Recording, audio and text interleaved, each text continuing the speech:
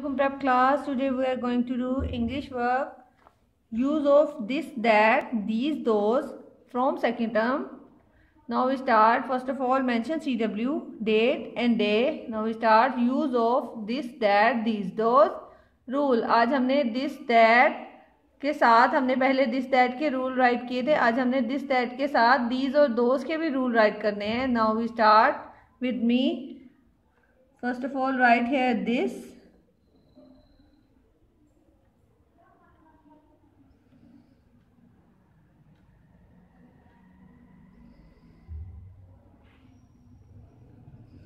underline this.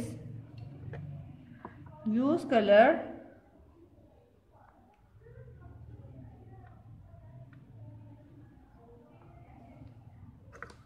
Put the sign of colon. Now start. This for f o r for one thing T H I N G thing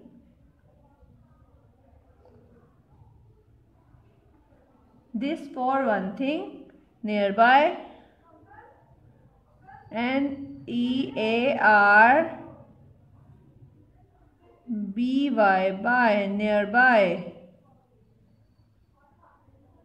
this for one thing nearby this means ये this हम इस्तेमाल करते हैं एक चीज़ के लिए जो हमारे पास है। Now write here these write here these T H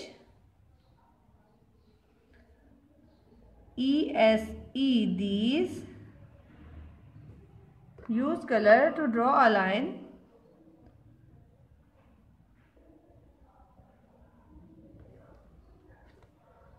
put the sign of colon. These four.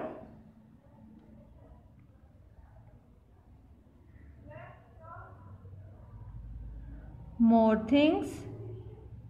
M O R more. Things. T H I N G S. Things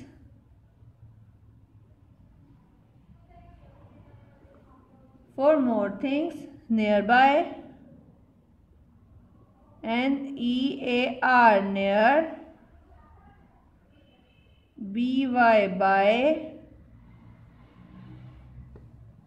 These means be prep class ये होता है। These का मतलब भी ये होता है for more things nearby these हम यूज़ करते हैं ज़्यादा चीज़ों के लिए जो हमारे पास होती हैं। दिस हम यूज़ करते हैं एक चीज़ के लिए जो हमारे पास होती है दीज हम यूज़ करते हैं ज़्यादा चीज़ों के लिए जो हमारे पास होती हैं। Now skip one line and go to the next line skip one line, prep class and write here that t h a t that use color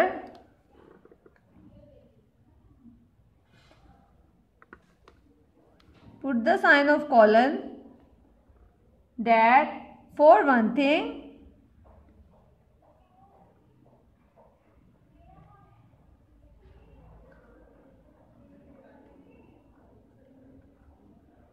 for one thing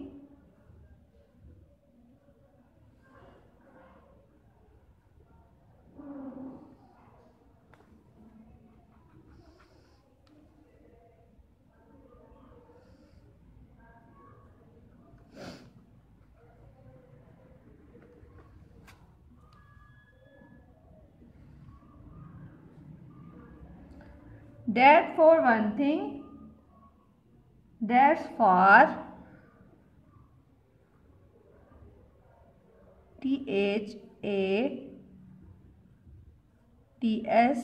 That's for F A R for. Prep class that means वो for one thing that far that हम दूर की चीज़ों के लिए इस्तेमाल करते हैं, जो हमसे दूर होती हैं। डेट का मतलब होता है वो। डेट हम इस्तेमाल करते हैं यूज़ करते हैं, जो हमसे दूर होती हैं।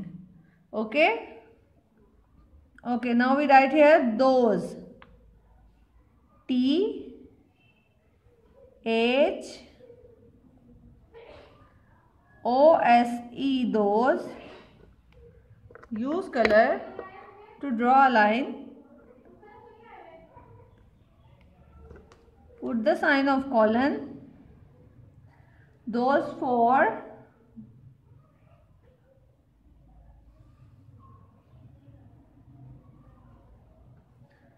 More things.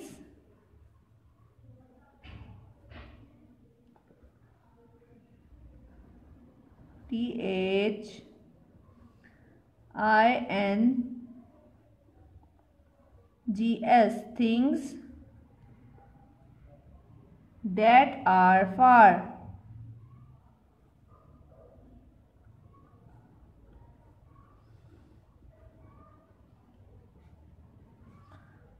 that are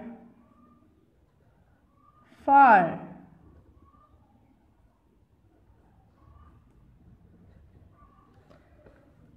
Okay, prep class that means भी वो होता है दोज मीन भी वो होता है। डैट हम यूज़ करते हैं, वो चीज़ें जो हमसे दूर होती हैं, जो एक चीज़ हमसे दूर होती है, उसके लिए हम डैट यूज़ करते हैं। और दोज हम यूज़ करते हैं, जो ज़्यादा चीज़ें हमसे दूर होती हैं, उनके लिए हम क्या यूज़ करते हैं? दोज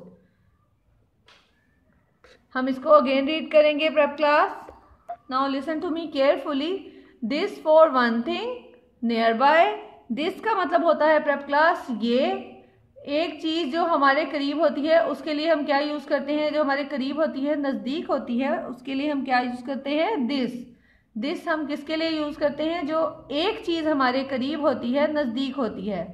दीस दीस का मतलब होता है दीस का मतलब ही ये होता है, ये हम ज़्यादा चीज़ों के लिए यूज़ करते हैं, जो हमारे नज़दीक होती हैं. दिस हम एक चीज़ के लिए यूज़ करते हैं दीज हम ज़्यादा चीज़ों के लिए यूज़ करते हैं, जो हमारे नज़दीक होती हैं, करीब होती हैं.